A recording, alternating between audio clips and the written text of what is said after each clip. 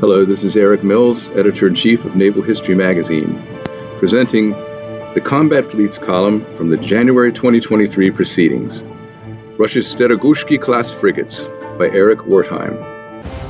The Steregushchiy class, Project 20380 family of frigates, has served with Russia's Baltic Sea and Pacific fleets for more than a decade.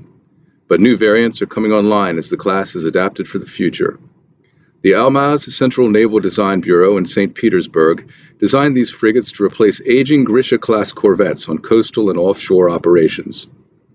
The initial prototype, the Steregushchiy, was laid down in December 2001 at Severnaya Verf in St. Petersburg and commissioned 27 February 2008. She operates with a crew of around 100, displaces 2,220 tons fully loaded, and measures 343 feet long with a 43 foot beam and 12 foot draft. The design incorporates stealthy characteristics and includes a steel hull, a hangar and landing deck for one KA 27 anti submarine warfare helicopter, and a composite superstructure.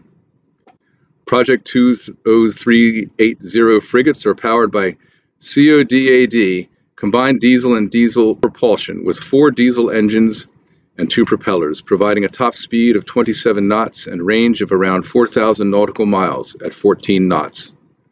The warships are fitted with a 100 millimeter gun forward and two quadruple launchers amidships for KH-35 3M24 Uran Switchblade anti-ship missiles, which have a range of 70 to 140 nautical miles, depending on the variant.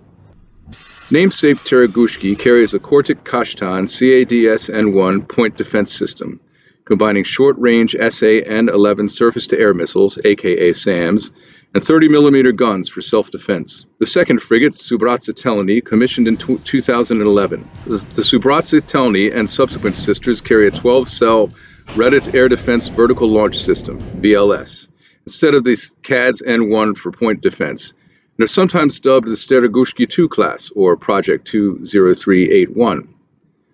Production of this second batch of frigates has taken place at the original shipyard, as well as at Amur shipyard in Komsomolsk in eastern Russia. By late 2022, at least seven Steregushchiy 1 and 2 class frigates were in service with the Pacific and Baltic fleets. More than a dozen are planned. An export variant, the Project 20382 Tiger frigate, has been offered to several foreign navies.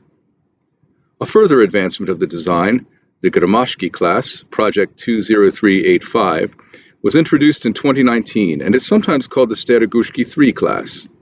At 348 feet, this class is slightly longer, with an integrated mast and other stealthy enhancements. Previous missile systems have been replaced with an expanded 16-cell Redut SAM system and an 8-cell VLS capable of firing long-range Kalibr 3M-14 land attack missiles and 3M-55 Onyx anti-ship missiles. In the future, the hypersonic Tsirkon missile is expected to be carried as well. At least three additional Gremyashchiy-class frigates are being built. A heavily modified and even larger gas turbine variant of the class, Project 20386, has been under construction since 2016 and is expected to enter service as early as 2023. Additional units and design variants of the Steregushchiy will likely follow.